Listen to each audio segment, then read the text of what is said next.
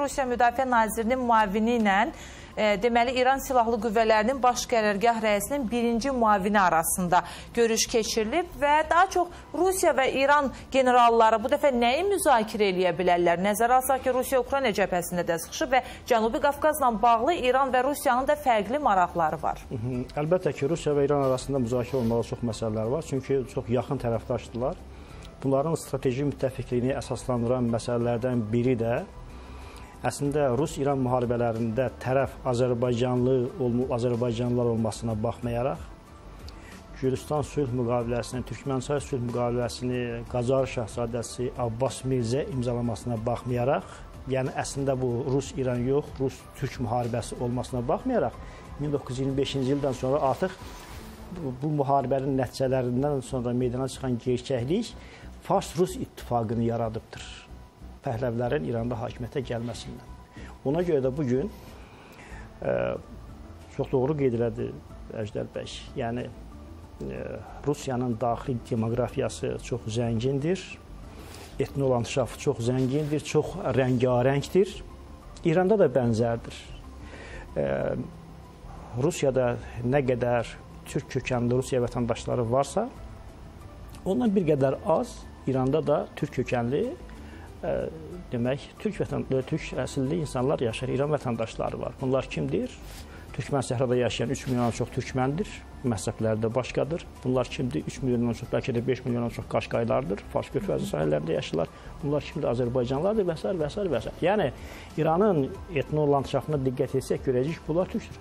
Hazırki mərhələdə nə baş verir? 21-ci əsr nə əsridir? Milli dirçəliş və milli özün dərk əsridir.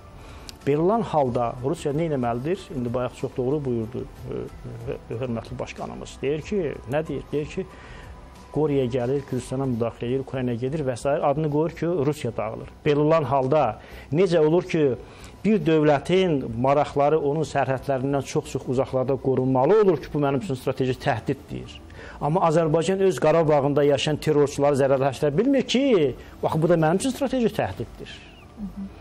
Necə olur ki, dünyanın hər yerində yaşayan, e, tutaq ki, e, fars dillərə, rus dillərə bu dövlətlər sahib çıxa bilmir. Azərbaycan İrandakı sahib çıxırlar, Azərbaycan İrandakı Azərbaycanlılara hüquqlarınla bağlı məsələni dilə gətirəndə bu İranın daxili işlərinə qarışmaqdır. Ona görə də bu, bax bu platform, bəli, bax bu platformada artıq bəlli olur ki, Rusiya ilə İranın müdafiə nazirlərinin danışmalı çox, çox bir saniyə icazə verirsiniz. Buyurun, əlbəttə, buyurun. Qacar dövlətini, Türk dövlətini çalanda demək ki, bir adam onun o çevrilişə sonra iştirak edənə Qarazey, Qarazey deyirlər, o gələcəkki Rıza Şahın, o quldurun biri idi. Onlar birlikdə hərəkət edirlər, ingilislərin tapşırığına. Gəlir o Bakıya, pişəvərini görür, deyir ki, biz istəyirik orada Qacarı da, pişəvər deyir, nə?